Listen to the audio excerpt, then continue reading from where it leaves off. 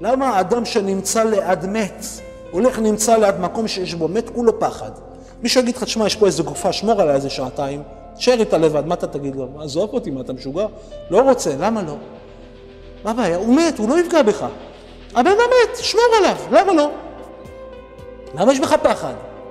אלא תדע את זה שאימת הדין שעובר הנפטר כרגע, הוא נפטר, יש אימת הדין, מה שהולך למעלה בשמיים, על כל הסתכלות, על כל זרע לבטלה ששפכת, על כל גזל שגזלת, על כל חילול שבת שחיללת, אימת הדין, על כל סנטימטר בגוף שלך שגילית. אימת הדין הפחד של השמיים שלמעלה, זה מה שנמצא שורה עליו כרגע, כי כולו בפחד משום הדין למעלה בשמיים, שאנשים לא מדמיינים לעצמם מה זה אימת הדין. לא מדמיינים לעצמם מה זה אימת הדין. מי שהיה חי את זה, בקושי לאכול היית אוכל, היית רואה שהיית אוכל גם. אימת הדין הפחד של מעלה בשמיים. לשון הרע, רכילות, דיברת, עכשיו אתה תתחיל להבין מה אלה החשבונות שפתחת למעלה בשמיים. אבל אין לך את הכסף לשלם.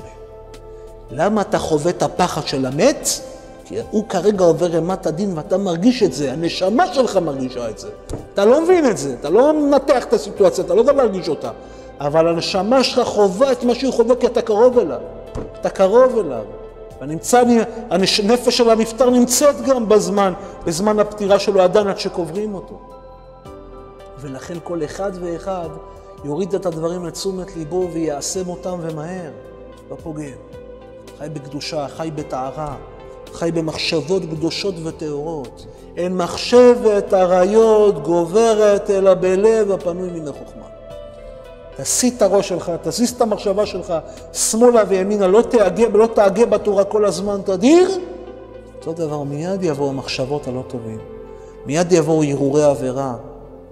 מיד יבואו אותם דברים שגורמים לך לרדת לבאר שחת. אבל מי שחטא, ישוב וימחלו לו. ימחלו לך על העבר. אבל מהיום, אתה לא פוגם יותר. אומרת הגמרא מסכת שבת ק"ח עמוד ב', יד לעמה תקצץ. אתה יודע, למקום הזה לא שולחים ידיים, לא נוגעים בו. כמו מוקצה. יש לך מוקצה בשבת שאתה לא מזיז אותו, אותו דבר. אתה לא מגיד, יד לעמה תקצץ, אתה למד, שמעת את הגמרא.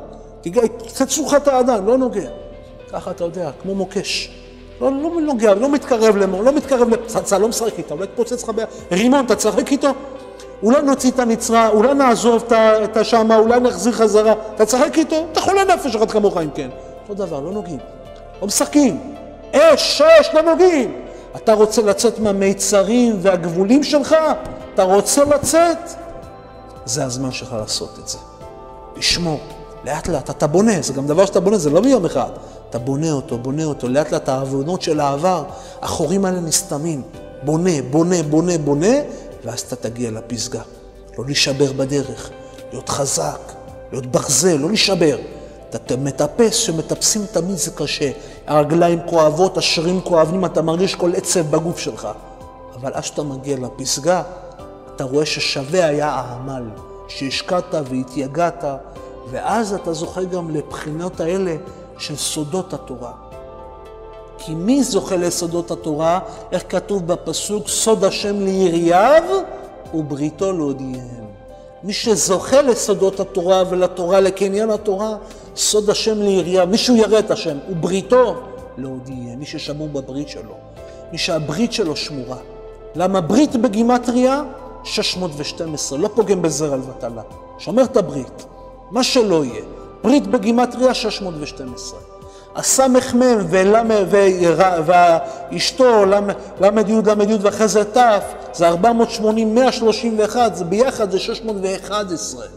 מי ששמור בברית, השטן ואשתו לא יכולים עליו. השטן ואשתו, למה מי שאתה שמור בברית שלך? זהירות, שמירה, הגנה.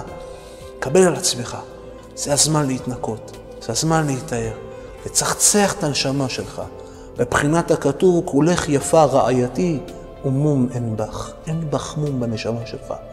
אשריו של אותו אחד שיעשה ויזדכך ויתנקה בימים הללו, יוציא את הזימה מהחיים שלו. את מה שהשם שונא אני אוציא מהחיים שלי. זה מה שאתה עושה, זה הבולדן שלך, זו הגדולה שלך. מי שיעשה כן, ודאי, יוסיף רוח טהרה ממרום על עצמו ועל נשמתו ועל כללות עם ישראל, ונזכה בקרוב ממש לגאולה האמיתית והשלמה על ביאת מלך המשיח בעזרת השם.